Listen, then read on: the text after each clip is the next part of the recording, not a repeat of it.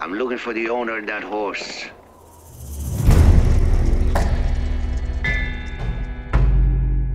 He's tall, blonde, he smokes a cigar, and he's a pig. In this world, there's two kinds of people, my friend. Those with loaded guns. And those who dig. You dig. Any trouble, boy? No trouble. Kid stuff.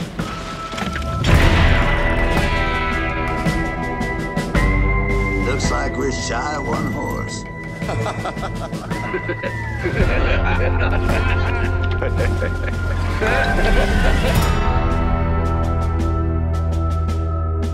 You brought two too many.